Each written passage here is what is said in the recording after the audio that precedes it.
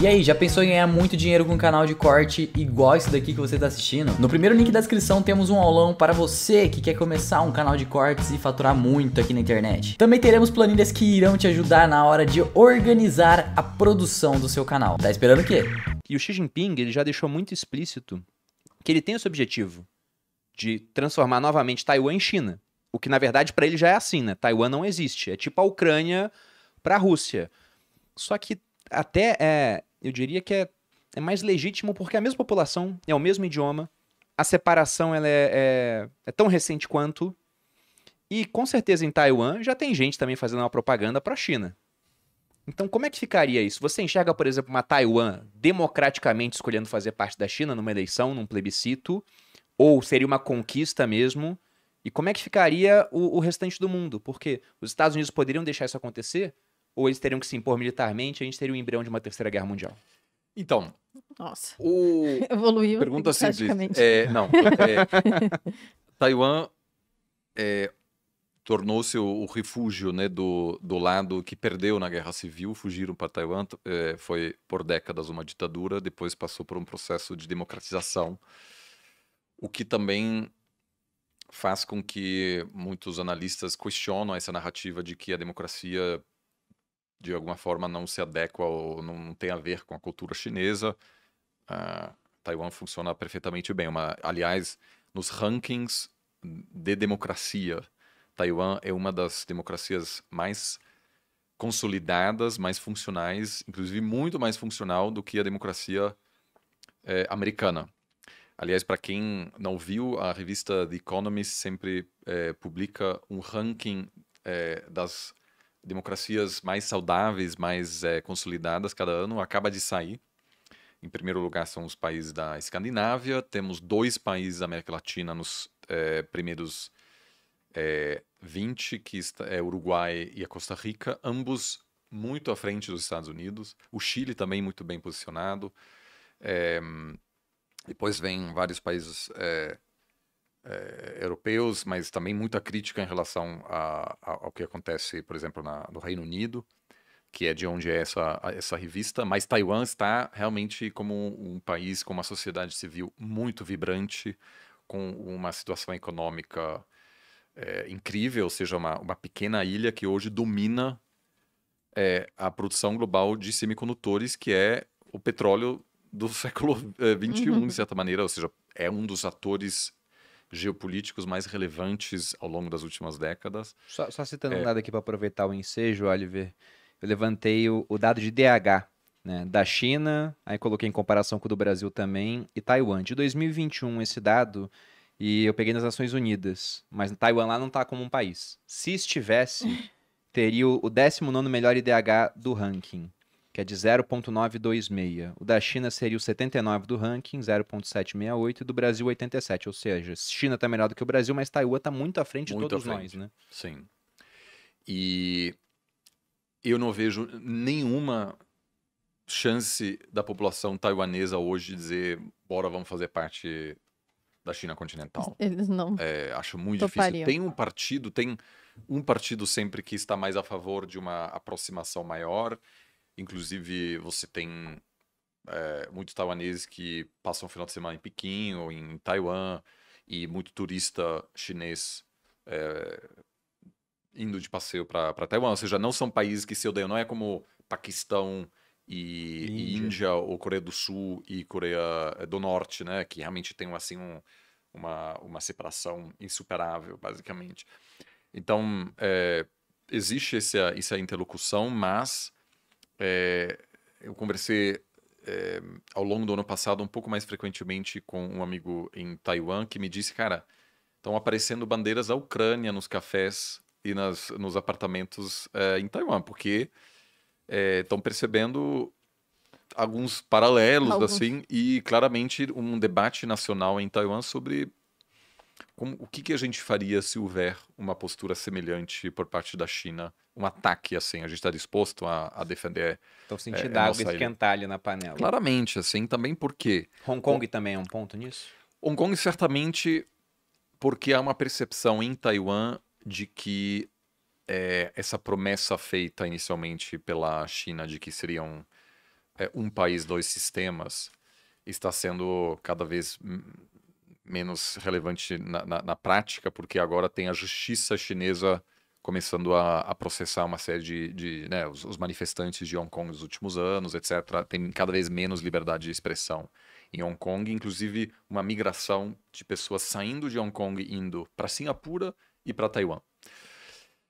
É, então, assim, essa unificação pacífica me parece pouco provável, só se, e eu não acho que isso vai acontecer, se houver uma democratização na China continental, e aí sim. Mas mesmo assim, eu vejo hoje. É, é muito difícil imaginar para um cidadão de Taiwan como a vida ia melhorar em um caso de uma, de uma reunificação. É, tem um passaporte taiwanês que permite, enfim, viajar tranquilamente pelo mundo. Tem uma representação, né? Aqui, em São Paulo, por exemplo, eles não podem se chamar de consulado nem de embaixada, mas é uma representação comercial. É, nós, por exemplo, na FGV temos acordos de intercâmbio com, facu com faculdades né, em Taiwan. É muito popular porque você tem a cultura chinesa Só e você tem liberdade de expressão. É liberdade. Então, e você pode passar o final de semana eh, em, em Xangai, onde você quiser, fazer viagens pela, pela região. É é o país que domina em termos de semicondutores e a política da guerra, é, vamos dizer, a realidade da nova Guerra Fria, obviamente faz com que cada vez menos agora empresas chinesas têm acesso aos semicondutores de Taiwan. Isso machuca muito e afeta muito as tentativas de modernização da economia chinesa. Isso afeta as tentativas de modernizar as suas forças armadas e pode aumentar o incentivo de, de alguma forma controlar a ilha. Mas eu também acho que a China percebeu depois da guerra na Ucrânia, da invasão russa da Ucrânia, de que, apesar do declínio relativo em termos econômicos, o Ocidente ainda tem uma capacidade de reagir a esse tipo de coisa. Porque o que a invasão russa na Ucrânia causou é uma unificação do Ocidente que a gente não viu nas últimas décadas uma mobilização enorme, uma aceitação de perdas econômicas para defender um pequeno país, que é em comparação com a, eh, com, a, com a Rússia, que é a Ucrânia. Então, eu acho que a leitura atual na China é: se a gente fizer algo de natureza tão bruta como fez a Rússia na Ucrânia, todo o Ocidente ia se unir para defender essa ilha, talvez nos, em, nos mesmos moldes que defende a Ucrânia, dificilmente com soldados americanos defendendo a ilha, mas fornecendo armamentos, etc. E Taiwan já está muito, em termos militares, muito bem, é muito mais moderno do que a Ucrânia, ou seja, Taiwan recebe armamentos americanos há décadas, enquanto boa parte dos armamentos ucranianos são uh, de origem soviética. É, agora, eu acho que a chance de haver algum tipo de conflito nos próximos 10 anos é, é, é, mais, é maior do que 50%. É, em parte porque se houver uma crise econômica complicada na China, você cutucar Taiwan para o Xi Jinping pode ser uma ótima forma de desviar a atenção. Aumentar a popularidade. É, porque na leitura chinesa, o apoio ocidental é, a Taiwan é uma interferência nos assuntos internos. O Xi Jinping disse: Eu sou o líder, o grande líder que vai completar a nossa volta como grande potência, e o último passo que falta é a reintegração de Taiwan. Então, quando os Estados Unidos dizem, não, você precisa respeitar o, o, povo taiwanês, que não quer fazer parte de vocês. Os chineses dizem, não, não, peraí, é, você não entende, essas pessoas não têm esse direito, eles fazem parte da gente. Então, quase é um pouco parecido com a Rússia, porque o argumento hoje é, na Rússia, se você diz, cara, vocês violaram o, o, a, a, soberania da Ucrânia, vocês inclusive assinaram um tratado nos anos 90 dizendo a gente vai respeitar a soberania ucraniana. Os caras falam, não, peraí, esse não é um país, você não entende. A gente só está combatendo aí um, um, grupo rebelde do, do, da mesma forma que, sei lá, o norte dos Estados Unidos combateu o sul dos Estados Unidos durante a Guerra Civil no século XIX. Ou, sei lá, tem várias guerras civis acontecendo ao redor do mundo, né? É, então eu acho que o potencial de dar errado em algum momento seja por acidente. Porque o que aconteceu na semana passada foi um acidente. E não acho que os chineses deixaram esse balão, porque esse balão dá para ver do, do, né? Tinha Sim, gente filmando esse balão. Bem burra. É, então aquilo não, não foi assim. né? Ninguém está se beneficiando disso. Mas isso não quer dizer que você não tenha conflito, porque muitos conflitos acabam acontecendo devido a, a situações, mudanças estruturais, e porque ninguém tem incentivo para back down, né? Para dar um passo para trás e dizer vamos pôr panos quentes. É, e eu acho que um- seja uma colisão entre aviões militares no Mar do Sul da China, seja uma explosão de um navio americano perto de Taiwan que não- ninguém consegue explicar direito, seja um ataque hacker que paralisa alguma empresa americana ou chinesa e tem uma reação supernacionalista, algo assim está se tornando cada vez mais provável. Então, o investidor precisa estar também, tanto o investidor quanto os governos precisam estar preparados para um choque geopolítico que ah, pode ser maior do que a guerra na Ucrânia.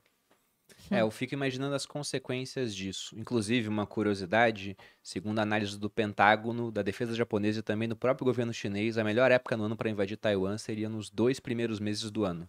Ah, que ótimo. Porque depois as correntes marítimas elas acabam é, sendo ruins para quem está atacando e beneficiando Quem o tá defensor. defendendo? Então, se não tivermos surpresas até Ah. final de fevereiro, tá- já é, já é jogo achar- bom. Assim. Eu acho, eu acho que eu não acho que seja uma coisa dessa natureza.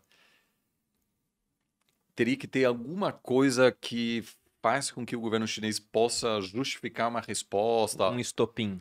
algo assim. Eu não, hoje não vejo porque também a situação Talvez da fique pro ano que vem, Precisa, então. de, por exemplo, de uma Ucrânia querendo entrar na OTAN algo para a Rússia assim. atacar. Algo O- nesse sentido. é, Para Taiwan é a mesma coisa. É, mas eu acho que até um pretexto melhor, porque é, o caso da fraco. Ucrânia, assim, não houve, assim, a Ucrânia não estava prestes a entrar na, eh, na OTAN, aquilo era um- uma questão até meio parada, assim.